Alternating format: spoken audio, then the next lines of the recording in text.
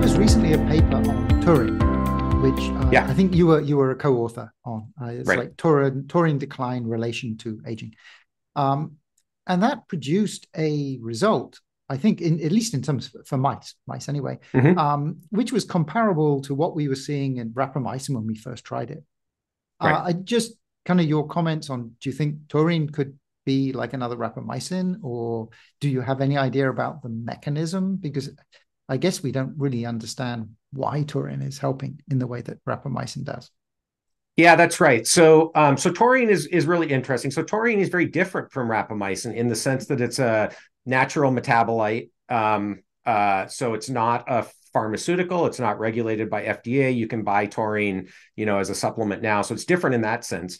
Um, I think what that pa- that paper was a very interesting paper. I should say I, I had an extremely small role in that that paper. My lab did a couple of experiments, but we were really not the, the leaders on that.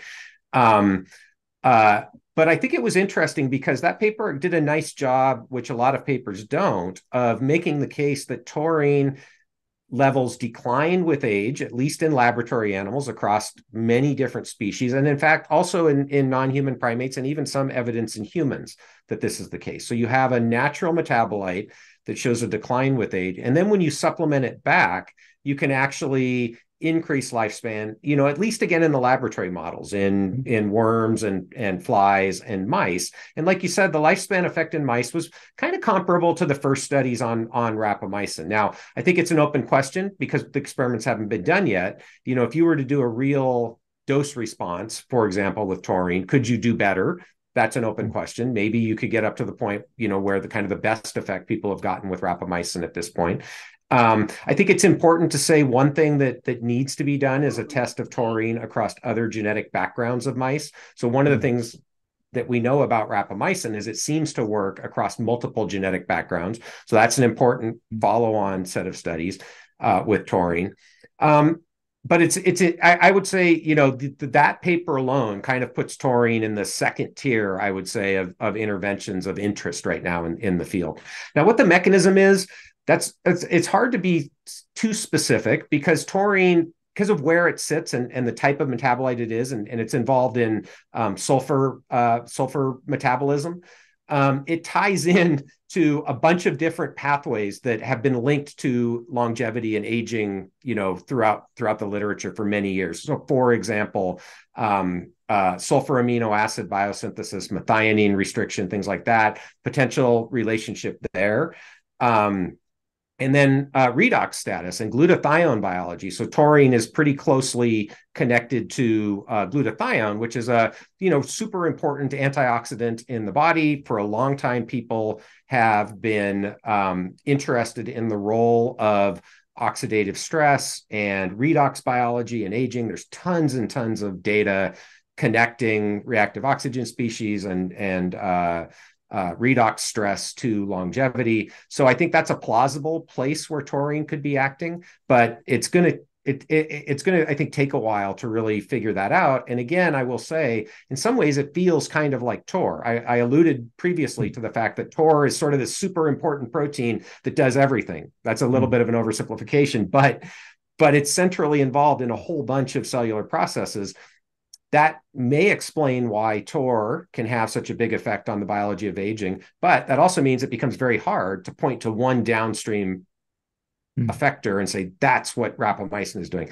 That may turn out to be the same with taurine because it's in it's connected so tightly to so many different um, aspects of cell biology. It may be kind of hard to get to a specific mechanism, and it may turn out to be more than one thing. So there, I think there's a lot of work remaining to be done there. Um, you know, should people start taking taurine? I, I, I don't know. I don't, for what that's worth. I, I, it hasn't gotten to the point in my, you know, estimation where I'm going to run out and start taking taurine. But, um, but I'm cautiously optimistic that you know over the next couple of years we'll get uh, uh, more data and better understand you know how it's working and what the likelihood is that um, that this is going to extrapolate to outside of the laboratory and into the real world and, and potentially in people. I'd like to see a study in dogs. I'll say as well. I think dogs are a an interesting mm-hmm. place where uh, this could be tested in, in, a pretty reasonable time frame for effects on lifespan and, and various health span metrics.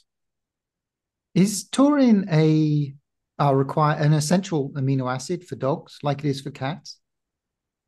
No, so cats and dogs are a little bit different, and and so there's some literature in in cats that um, taurine deficiency uh, has been associated with certain types of heart disease. I don't remember the exact hmm. literature, mm-hmm. but but there is some literature there that does not, at least as far as I know, there's no data mm-hmm. uh, supporting that in in dogs and and this story in cats again this is sort of secondhand so this is what i've been told by some some veterinarians so i may not get this exactly right but the story has something to do with with that certain types of uh cat food uh cat food diets that some owners started feeding their cats ended up not having enough taurine in it so the cats became deficient in taurine and then it started to uncover these these heart uh, defects.